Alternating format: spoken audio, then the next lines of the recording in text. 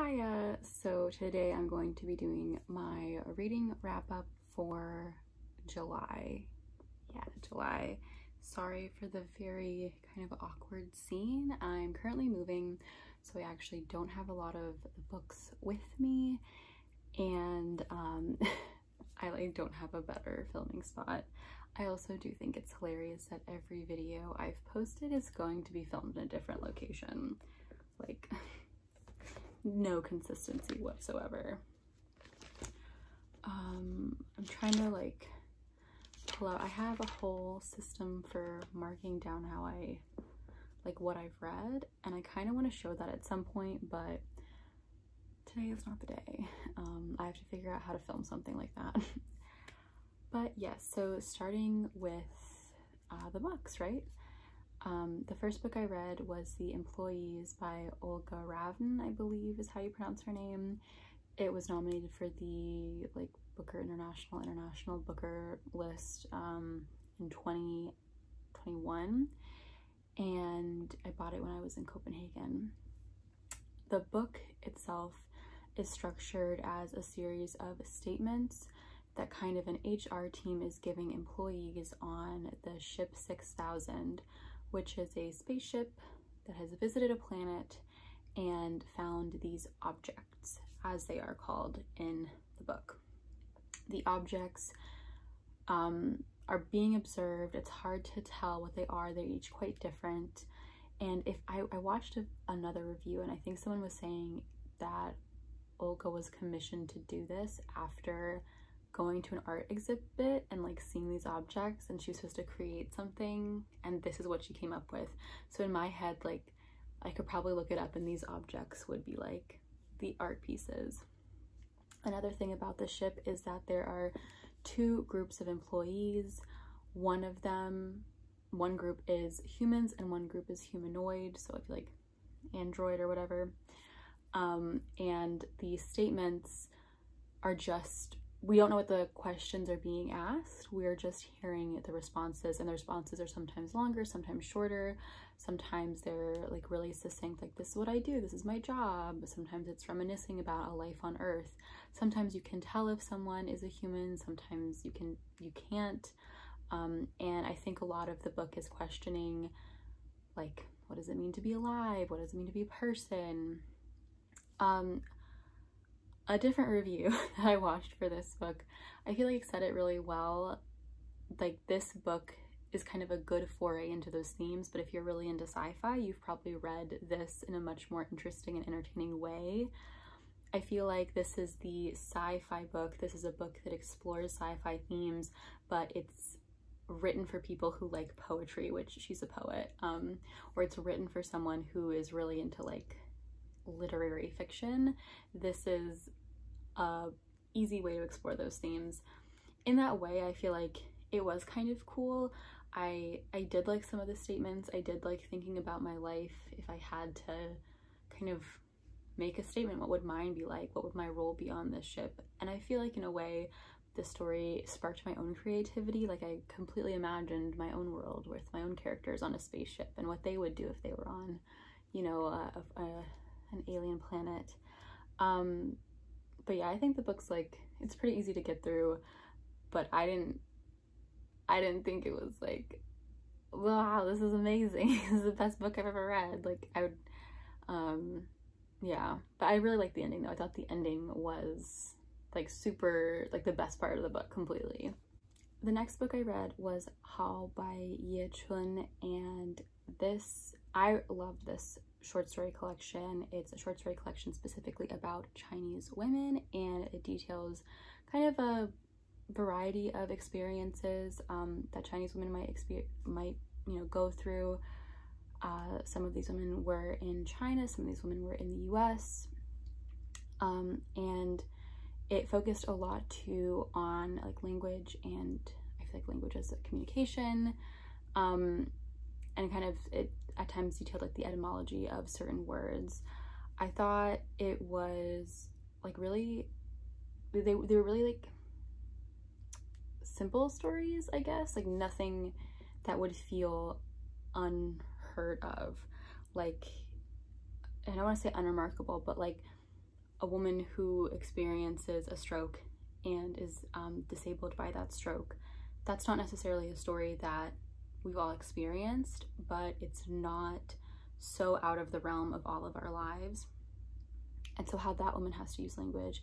And a lot of these women feel particularly silenced. So, I feel like the focus on characters um, is really beautiful in that it is this form of communication. It is, it is this form of like language. And I don't know, I thought that was really well done. And the first story made me tear up. Um, and I'm not like someone who cries when I read, so I thought it was really beautiful.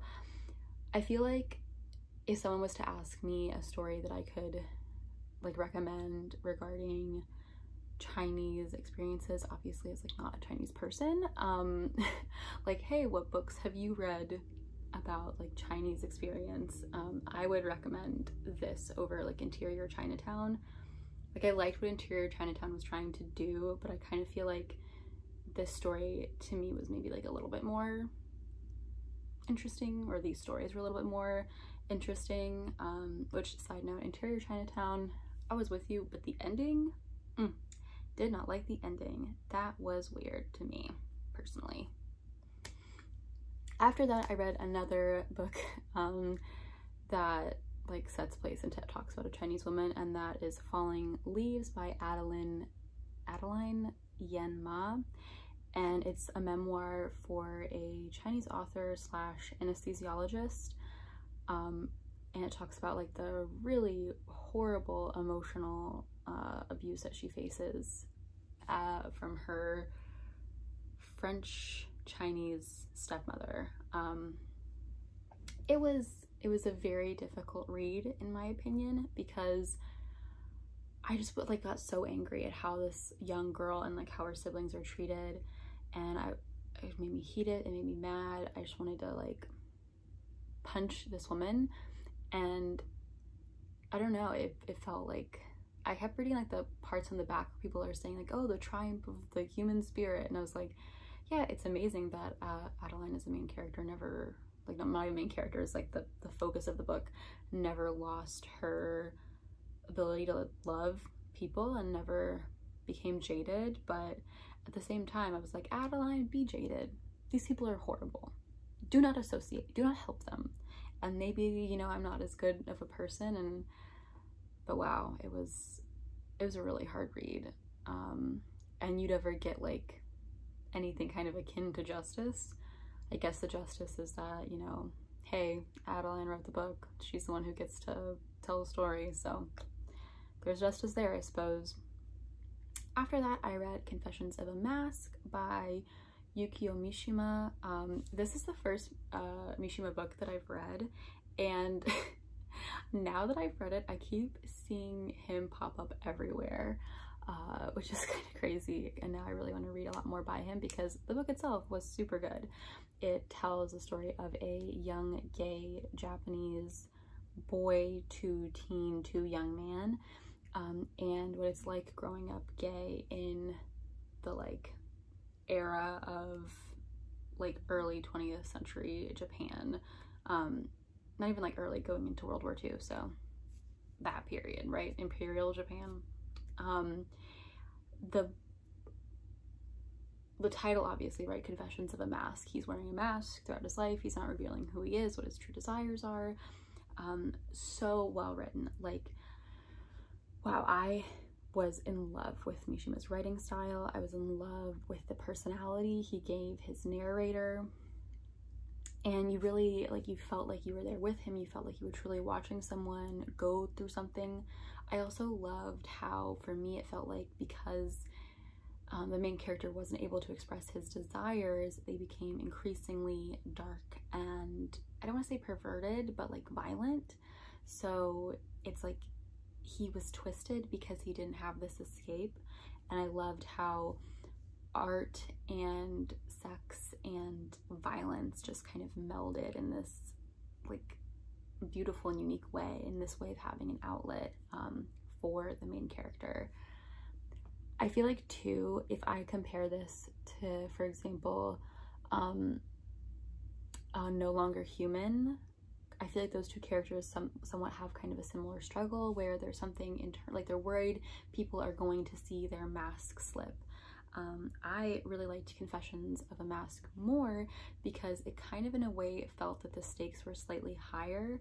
Like if the character in um, becoming no longer human, if his mask falls, it's like, oh, you just kind of like fake your life. Like there's something deep about that. A lot of people feel like they're not ever being their authentic selves, but the stakes felt a lot less than in Confessions of a Mask where like if his mask falls, if he reveals his true identity, there could be like truly negative, negative consequences to that.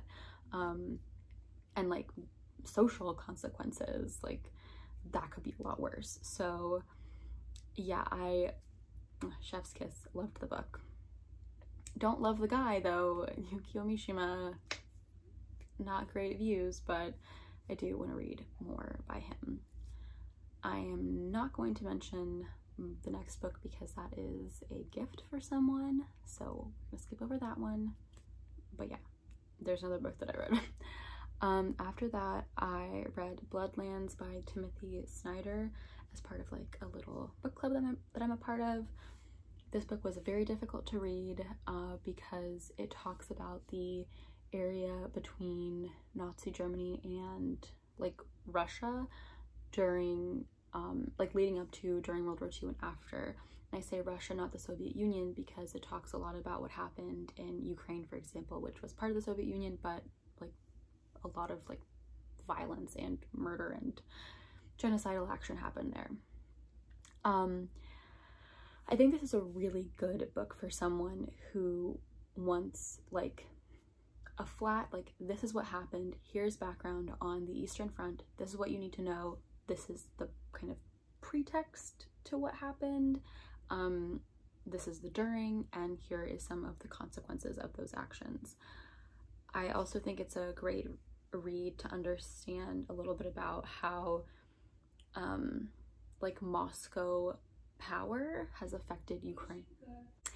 So what I was saying, um, The Bloodlands is, I think, a good book to read if you like want to know yeah about how like the Moscow regimes treat um treat the con like other Eastern European countries um really horrific I mean it also really annoys me too when you get like people who romanticize Stalin in a weird way like no horrible guy bad guy just because he is associated with a political belief system that you value mm, does not mean you have to like that guy.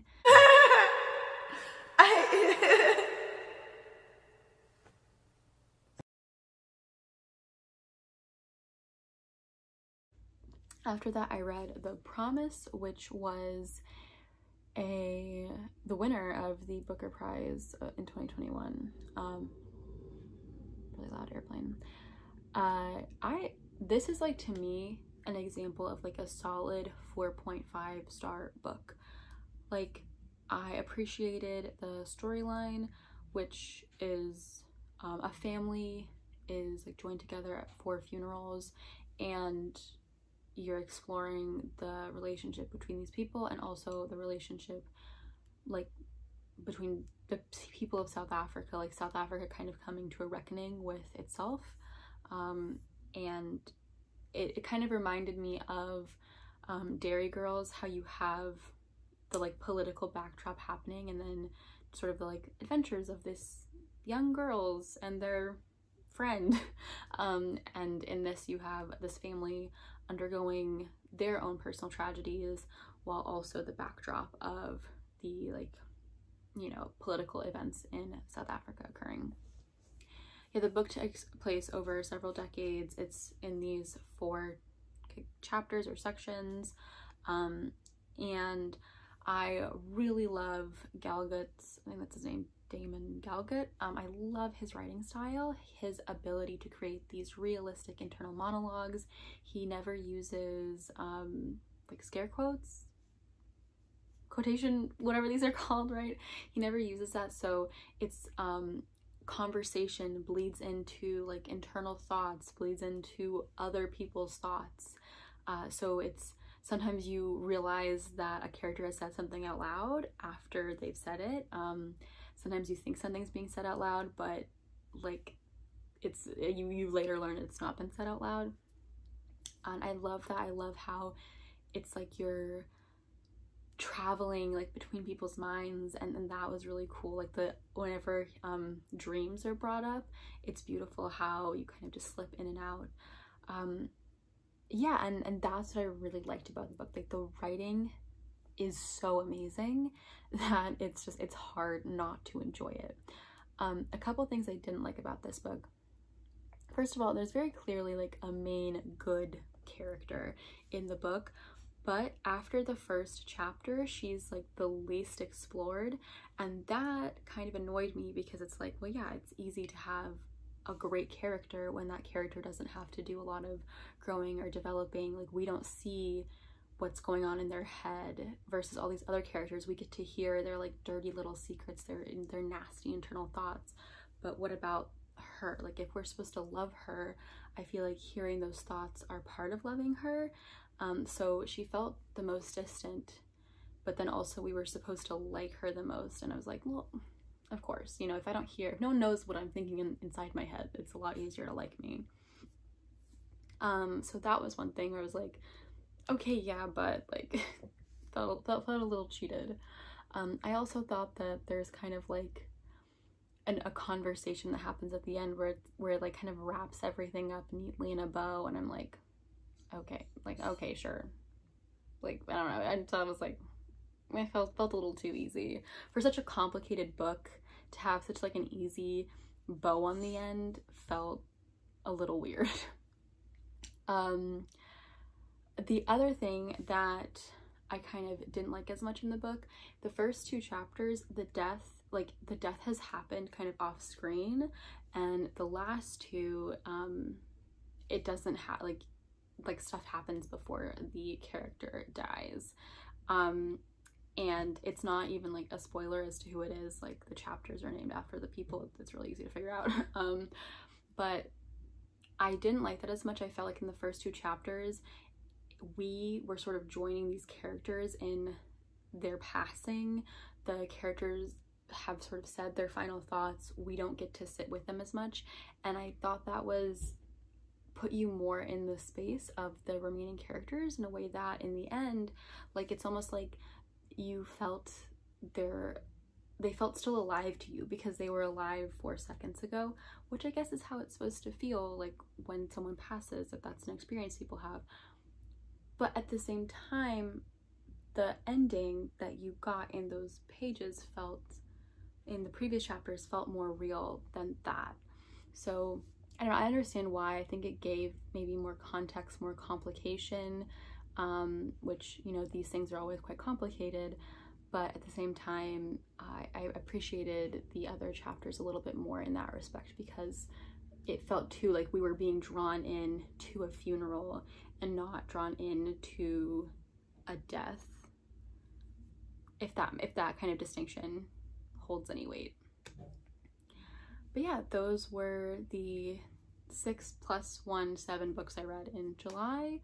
Um, it was great. Currently, I am reading two books. One is It Ends With Us by, I think it's somewhere over there. It Ends With Us by Colleen Hoover. Gotta say,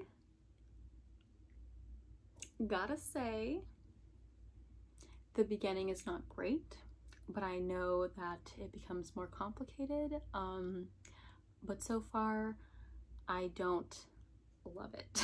um, the other book I'm reading is The Beekeeper of Aleppo, which I definitely like a lot more uh, so far. And I think that the descriptions are like really beautiful. Some of the writing in there is just wow, that, that, that description is blowing me away. Uh, so yeah, hopefully I will see you soon for another reading wrap up, book review, whatever. Uh, okay, thank you so much.